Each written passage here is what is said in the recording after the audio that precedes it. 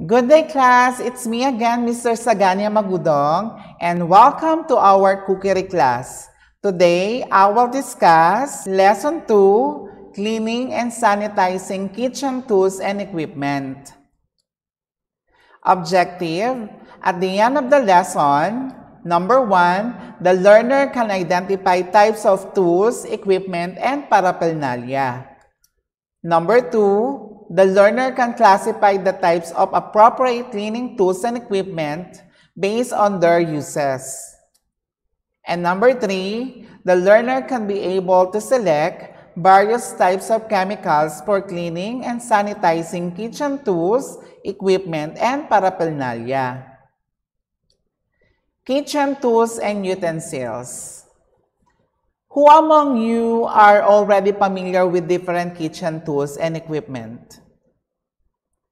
Okay, it is good to know that some of you are already familiar with the kitchen tools and equipment, and it's okay if some are not.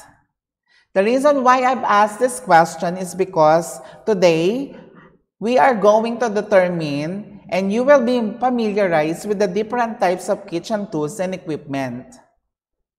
But let me first ask you, why is it important that you need to know or become familiar with those tools and utensils in the kitchen?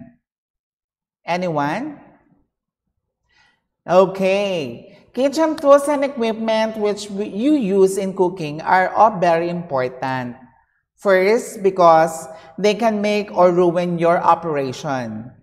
And second, once that you are familiar with those tools and equipment, it helps you in the kitchen to perform and prepare food more efficiently. There are so many types of kitchen tools and equipment at home, in the market, and even at the mall. Being completely prepared with the proper equipment within the kitchen are the fundamental step to successful cooking, whether or not you're a professional chef or just a beginner. The kitchen tools and equipment commonly used in cooking includes the following. Cookware, kitchen utensils, measuring tools, kitchen knives, and kitchen equipment. So we divided those kitchen tools and utensils into five categories. And ang gagawin natin, hihimay-himayin natin ang bawat categories at aalamin natin ang mga examples at kung ano ang mga uses ng bawat kitchen tools and equipment. Let's have first the cookware. It means refers to the cooking pots and pans that are used during cooking. So meaning to say, cookware are intended to be placed on a stove or ranges and should be durable enough to withstand its usage. Here are the example of cookware that we usually use in the kitchen. Number one, saucepan. It is a long handle that is intended to be used on top of the stove to cook food that requires boiling. It usually comes with lids. A saucepan excels at cooking anything that mostly liquid. This means that saucepan, it is great for stewing, simmering, making soups, and unsurprisingly making sauces like pasta sauce. Second, stock pots. It is a large, deep, straight-sided pots for pressing stocks and simmering large quantities of liquids on the stove top. Traditionally, stock pot used to make stocks or broths. Larger pot of the same shape usually has two handles close to its sides of the pot because it is designed for the cooks lifting it using for both for his or her hands. Number three, saute pan. It is used for sauteing food. Saute pan, it is similar in appearance to a frying pan or skillet, except that instead of the flared, sloping side, it has straight side about 2 to 3 inches high, and it is used for cooking food over high heat. Number 4, frying pan or also known as skillet. It is a pan used for frying, searing, and browning foods. Usually, frying pan, it measures from 20 cm in diameter to 22 cm and it is flat pan with flared side and no lid. Number 5, double boiler. It is a cooking utensils with two saucepans that fits together so that the contents of the upper pan can be cooked or heated by boiling water in the bottom pan. So meaning to say, in short, a saucepan with a detachable upper compartment heated by boiling water in the lower one. So usually ginagamit natin ang double boiler when it comes to, like for example, melting chocolate as chocolate ganache. Number six, food steamer. It is a covered pot with an inside strainer that is used to cook or prepare various food with steam heat. So, in short, a food steamer is used to cook or prepare various food with steam heat by means of holding the food in the closed vessel reducing steam escape. Number seven, wok. It is a versatile round bottom cooking vessel originated in China and it is ideal for stir frying. Next is kitchen utensils. Kitchen utensils is a small handheld tool used for food preparation. These are the example number one, colander. It is used for washing food and draining liquid from solid food. So meaning, when you say colander, it is a bowl with bottom and sides holes that usually made of stainless, stainless steel or plastic. Number two, strainer. It is a small wire mesh bowl with a handle and it is used to drain liquid from solid food or to remove solid bits from a liquid. So again, it is a kitchen device that is used to strain liquids away from other ingredients, mostly commonly used for separation of liquids from solids.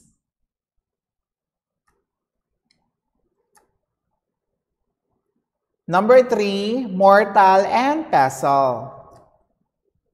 So this is the picture of mortar and pestle.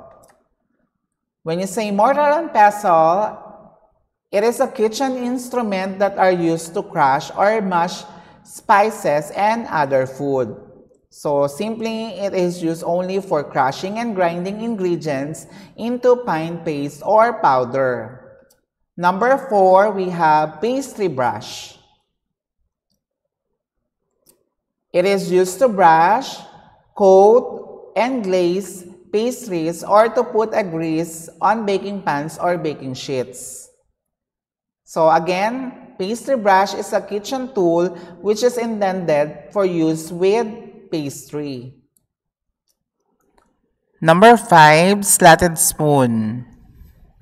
This is the picture of slatted spoon. It means it is a large spoon whose bowl has several slats or holes for draining liquid from being ladled. So, meaning to say, in short, when you say slatted spoon, it has openings or holes in the bowl of the spoon which let liquid pass through whilst preserving the larger solids on top. Next, number six, we have whisk or wire whisk or sometimes also known as wire beater. It is a cooking utensils used in food preparation to blend ingredients smooth or to incorporate air into a mixture and in a process known as whisking or whipping. Again, when you say whisk or wire whisk, it is also known as wire beater. It is a kitchen utensil for whipping eggs or cream. Number six, we have funnel. This is the picture of funnel. It is a tool used to transfer liquid or fine-grained substances into containers with small openings.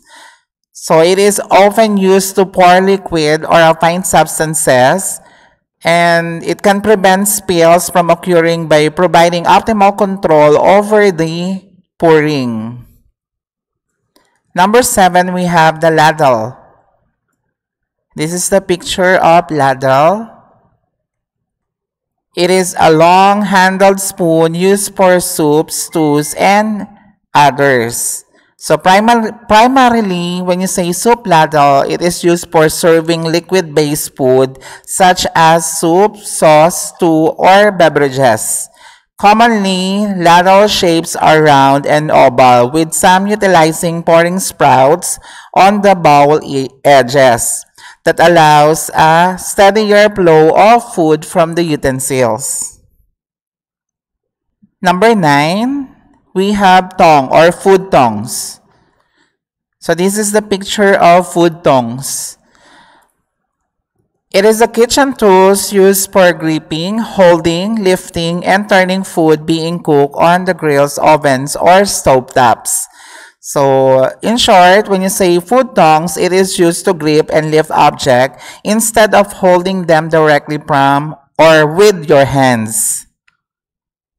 Number 10, we have grater. It is a kitchen utensils to grate food such as cheese, vegetables, and spices into fine pieces. Grater is also known as shredder. It is a kitchen utensils used to grate foods into fine pieces. Number 11, we have potato masher. This is the picture of potato masher. So when you say potato masher, it is a kitchen tool used to crush soft food, which include mashed potatoes, applesauce, turnips, carrots, or other soft cooked vegetables. So again, when you say potato masher, it is sometimes known as crusher. So basically, it is a food preparation utensils used to crush soft foods for such dishes like mashed potatoes. Number 12, we have chopping board. This is the picture of a chopping board.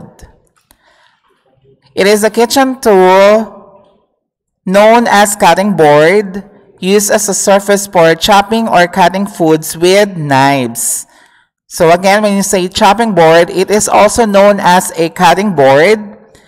So the, uh, usually it can be made of wood, plastic, glass, or stone. So kung mapapansin niyo from this picture, you will notice na may iba't ibang kulay yung bawat cutting board. The question is, why do you think cutting boards have different colors? Ano kaya ang purpose kung bakit um, may iba't ibang kulay ang chopping boards, especially sa mga food service operations like in a restaurants? Do you have any idea? Okay, the different colors in cutting board easily show which is used for preparing what kind of food, which rules out the cross-contamination. So, may mga iilang restaurant nag uh, or mostly of the restaurant, gumagamit sila ng color-coded na mga chopping board na gawa sa plastic. So, as you can see from the picture, we have yellow, blue, red, green, white, and brown. So sabi ko nga kanina, ginagamit nila base doon sa kulay ng chopping board yung gagam uh, paggagamitan nila na isang ingredients. Like for example, if they use green chopping board, para lang siya sa mga vegetables and fruits. Kapag blue naman yung chopping board na gagamitin mo, para naman siya sa paghiwa or paghati or pagchop ng mga raw seafoods and fish. Kapag red naman yung gagamitin mo na chopping board, it is used for chopping raw meats. Kapag yellow, poultry like chicken. Pag white, para naman sa mga dairy products like cheese and breads. Kapag brown naman po, ginagamit naman siya sa mga cooked meat. So again, ang reason kung bakit sila nagkakaroon ng color-coded is para sa tinatawag natin na food safety. Yung tinatawag na cross-contamination. Maiwasan na uh, magkahawa-hawa yung, uh, like for example, if you're cutting raw food sa uh, ready-to-eat food na dapat pinapractice din even sa bahay. So, maybe some of you sa bahay, hindi lang iisa yung chopping board. But, paano naman po, sir, kapag isa lang po yung chopping board na ginagamit namin sa bahay? Well, actually, wala naman kaso kung isa lang yung chopping board na ginagamit ninyo. Uh, in that case, kapag isa lang yung chopping board, pwede naman na, like for example, uunahin nyo munang hihiwain yung mga gulay, yung mga prutas, bago kayo, bago nyo gamitin yung chopping board sa paghiwa ng mga raw meats or sa mga isda o kaya sa anumang karne. Pero of course, sabi ko nga kanina, because of the food safety, in order to um, avoid cross-contamination, much better na bago, after nyong maghiwa ng, let's say, gulay or prutas, hugasan ninyo ulito and then saka, nyo mag, saka kayo maghihiwa ng mga karne o kaya ng isda. Understood? Next. Number 13, we have cheese slicer. So this is the picture of cheese slicer. It is a kitchen utensil used for slicing cheese quickly, neatly, and economically. So basically, cheese slicer is for slicing cheese. And then number 14, we have the kitchen shear. So this is again the picture of kitchen shear are practical for opening pa uh, food packages. So, kitchen shear is sometimes also known as kitchen scissor.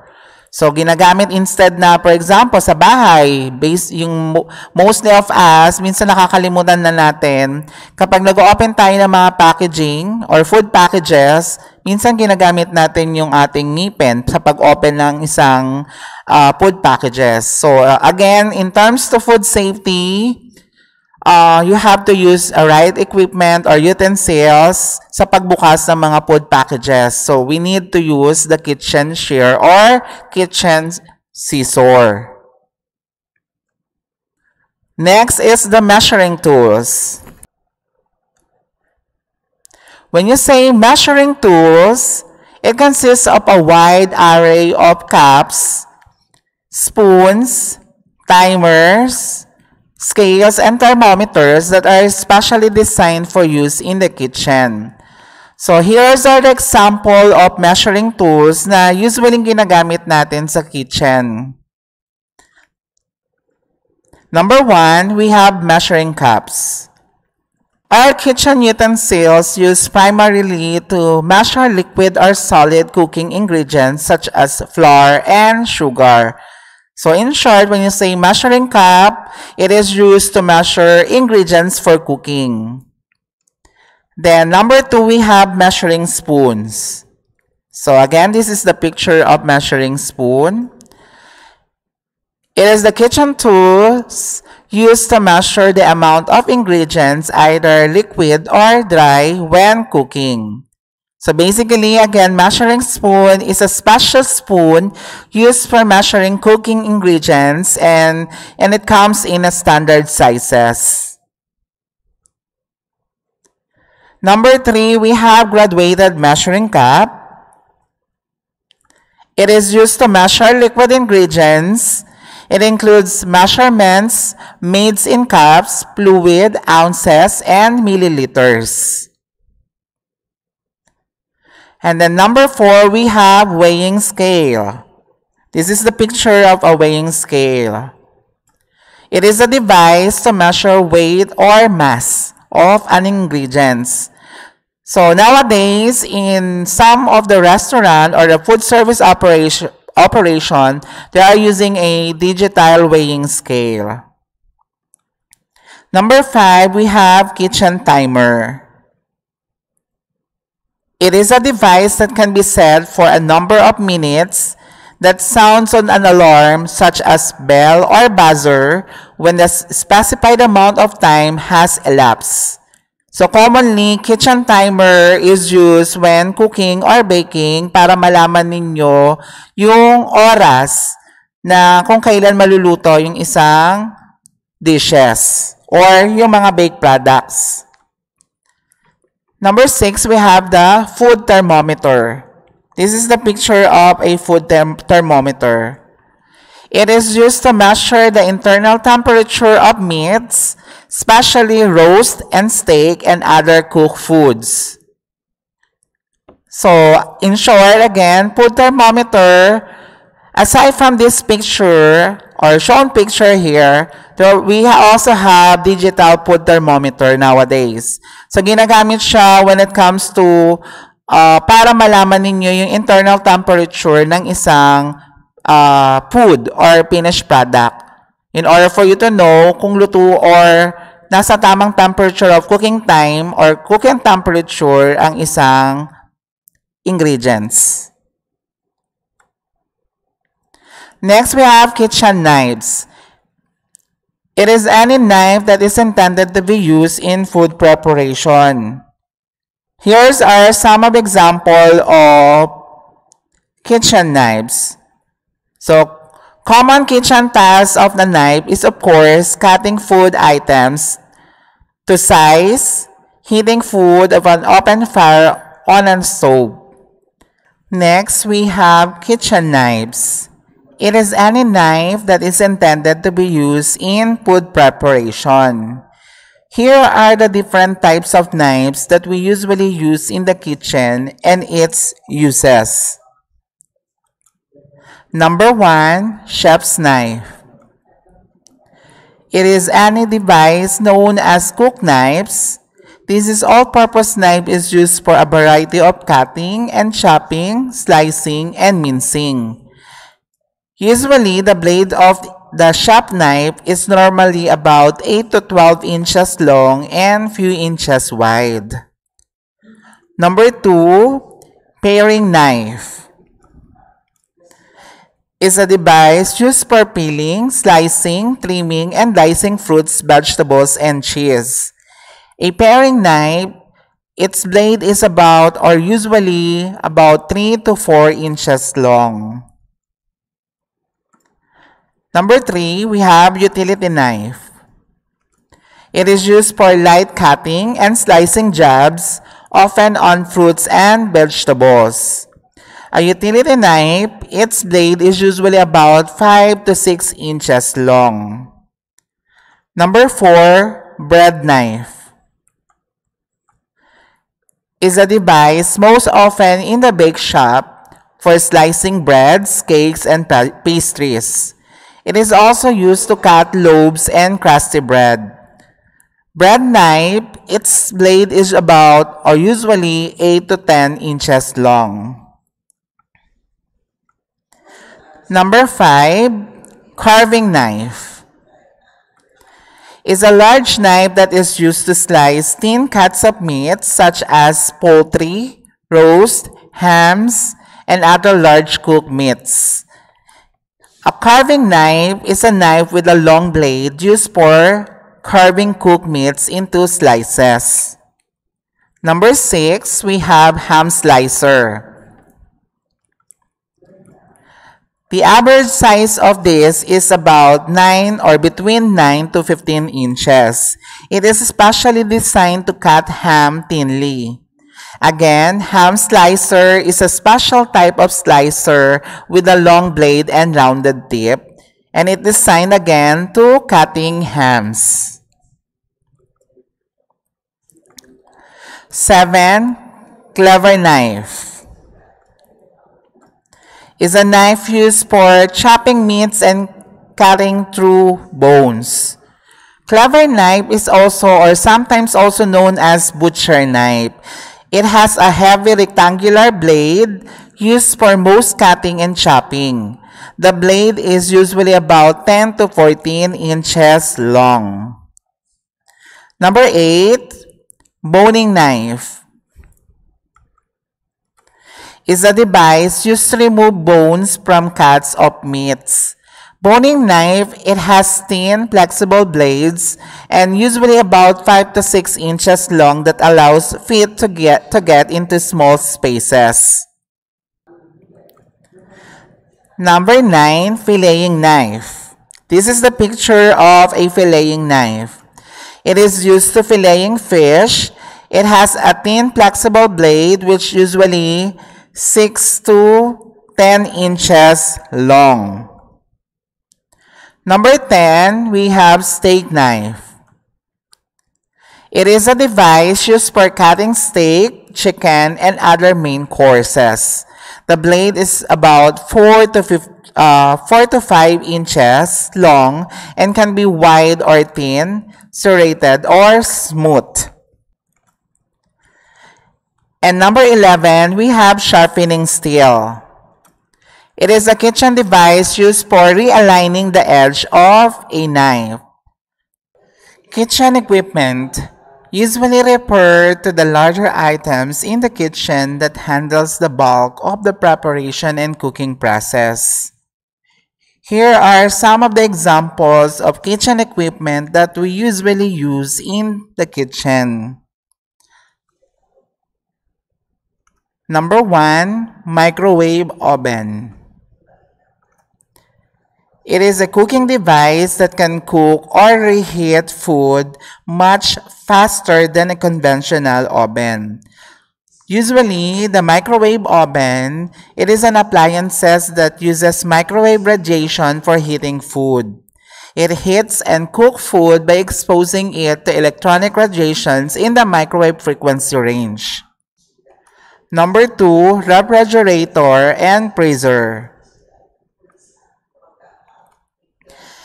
It is an appliance where foods are kept in cool temperature. Basically, ang refrigerator and freezers are appliances na kung saan pwede nating i-store ang mga pagkain na di pa natin kailangang lutuin agad tulad ng mga gulay, prutas, karne at isda. Number three, blender. It is an electrical appliances which has to with whirling blades for chopping, mixing, or liquefying. In short, when you say blender, it used to grind semi-solid ingredients such as fresh fruits and vegetables into smooth puree. Number four, electric mixer. is a food mixer powered by electricity and it is used for mixing and beating. As you can see from the picture, meron tayong dalawang klase ng electric mixer. This one is what we call a stand mixer or electric stand mixer. And then this one is the electric hand mixer. So, an electric mixer, it is a device for mixing ingredients. Basically, kinagamit natin ang electric mixer when it comes to making dough and batter sa pagbe-bake. Number five, we have food processor. Is an electric appliances with interchangeable blade within a closed container into which food is inserted for slicing, shredding, mincing, chopping, pureeing, or processing at high speed. A food processor is used basically for chopping, mixing, and pureeing of foods.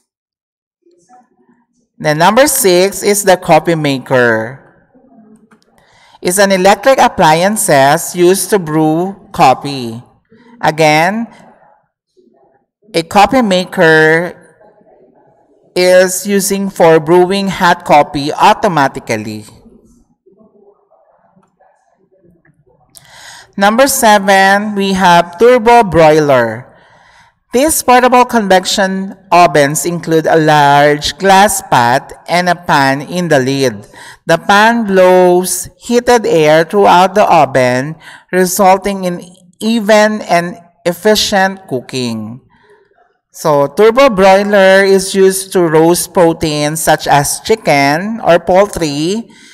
The meat cooks in its own juices with no added cooking oil and we can also use the turbo broiler in making fries with less fats. Number 8, convection oven. Is a thermally insulated chamber used for heating, baking, or drying of a substance and most commonly used for cooking. That is the end of our lesson. I just hope that you have learned something today. For your assignment, please do have an advanced reading on our next topic. Lesson 3, Cleaning and Sanitizing. And please do have review yourself about kitchen tools and utensils because we will be having our second quiz next meeting during our Assess to Learn.